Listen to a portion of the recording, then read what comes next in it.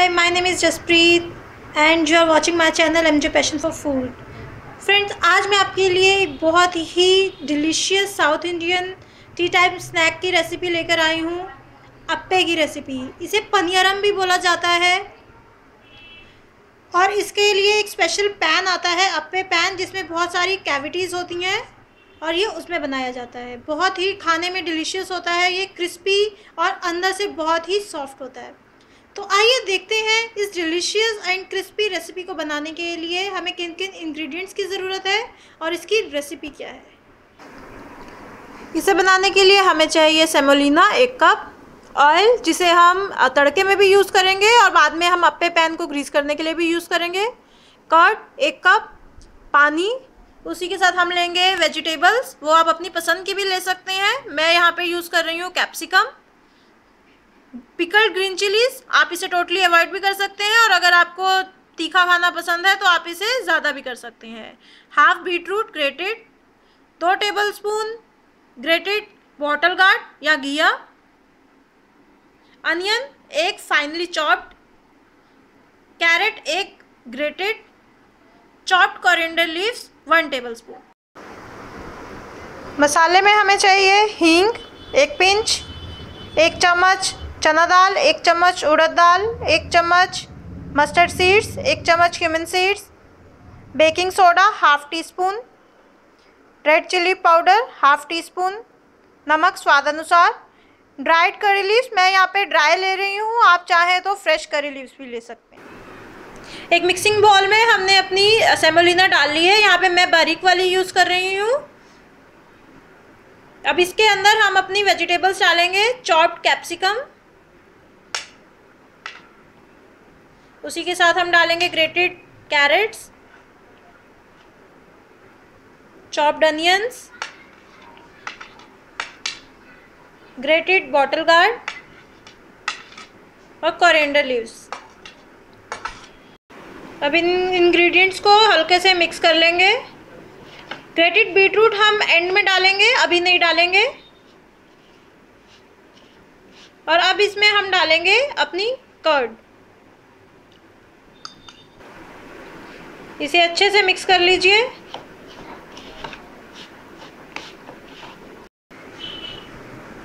अब इसमें हम पानी डालेंगे एज रिक्वायर्ड मैंने इस मिक्सचर में, अभी मैंने आधा ग्लास पानी डाला है। सूजी से जब हम बनाते हैं तो उसे रेस्ट करवाना भी ज़रूरी होता है, क्योंकि सूजी जो है वो पानी सोख लेती है और फूलती है। सेमोलिना का बैटर ऑलमोस्ट तैयार है। अब इसको हम रेस्ट करवाएँगे दस मिनट तक के लिए और उसके बाद अगर इसमें पानी ये गाढ़ा हो जाएगा, पानी सोख लेगा तो हम इसमें पानी और डालेंगे, जितना हमें चाहिए होगा। एक तड़के पैन में तेल गरम होने के लिए रख दिया है और अब इसमें हम डालेंगे करी लीव्स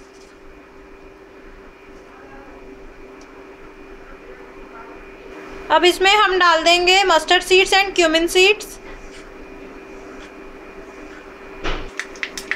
जब ये स्प्रेडर करना स्टार्ट कर देगा तो इसमें हम उड़द दाल और चना दाल भी डाल देंगे।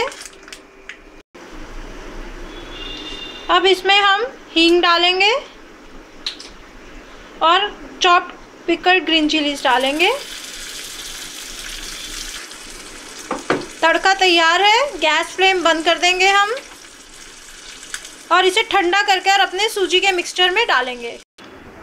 देखिए बैटर हमारा गाढ़ा हो चुका है। अब इसमें हम अपना ठंडा किया हुआ तड़का डालेंगे सबसे पहले।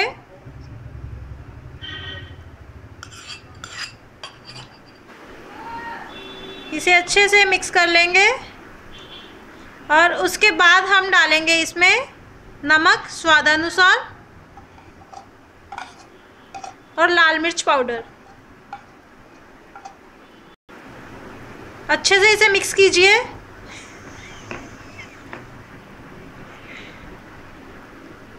और अगर आपको लगे कि इसमें पानी की रिक्वायरमेंट है तो आप एज़ पर योर रिक्वायरमेंट पानी भी इसमें ऐड कर दीजिए। और अच्छे से मिक्स करके एक स्मूथ कंसिस्टेंसी का इडली लाइक बैटर बना लीजिए।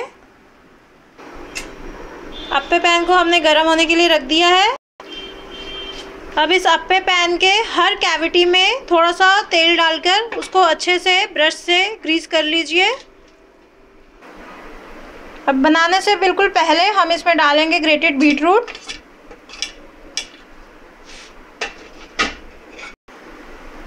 और साथ में हम डालेंगे बेकिंग सोडा और इसे अच्छे से मिक्स कर लेंगे।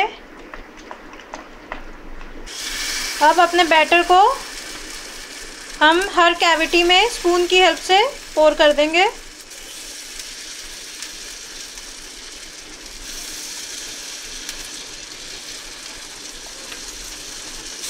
खाने में बहुत ही डिलीशियस लगते हैं ये। और बैटर इनका ऑलमोस्ट इडली लाइक ही होता है, जैसे रवा इडली का बैटर होता है, उसी तरह से इसका बैटर भी बनता है। अब इसको दो से तीन मिनट मीडियम आँच पे ढककर पकाएँगे। देखिए, हमारे पनीरम जो है वो बन रहे हैं, ये फूल चुके हैं अच्छे से। अब इनकी एक साइड क्रिस्प हो चुकी है। अब इन्हें वन बाय वन हम फ्लिप करके दूसरी साइड से भी आ, इनको पकाएँगे। लेकिन उससे पहले हम इस पर थोड़ा सा ऑयल ड्रिजल करेंगे। देखिए अब हम दूसरी साइड पे भी ऑयल हल्का हल्का लगा देंगे। अगर आपको ज़्यादा ऑयल नहीं चाहिए तो brush is the best option to use क्योंकि इससे आप हल्का हल्का सब जगह अप्लाई कर सकते हो।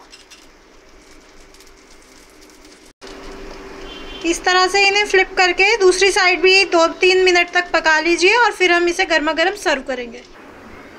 हमारे क्रिस्पी रवा वेजिटेबल अप्पे बनकर तैयार हो चुके हैं। इसे मैंने सर्व किया है टोमेटो केचप के साथ। आप इसे चाहें तो किसी भी चटनी के साथ सर्व कर सकते हैं। चाहे तो onion chutney coconut chutney peanut chutney mint chutney या कोई भी जो भी आपकी पसंद की हो। इसे as a tea type snack भी सर्व किया जा सकता है। इसे मॉर्निंग ब्रेकफास्ट के तौर पे भी सर्व किया जा सकता है। और आप चाहें तो इसे बच्चों को टिफ़िन बॉक्स में भी पैक करके दे सकते हैं, बिकॉज़ इसमें बहुत सारी वेजेस डली हुई हैं तो वो उनके लिए बहुत ही हेल्दी और डिलीशियस होंगे।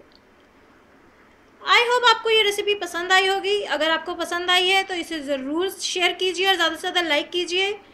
और इस तरह की और भी रेसिपीज़ देखने के लिए मेरे चैनल को सब्सक्राइब करना मत भूलिएगा। मैं आपके पास लौटूँगी एक नई वीडियो और एक नई रेसिपी के साथ। Till then bye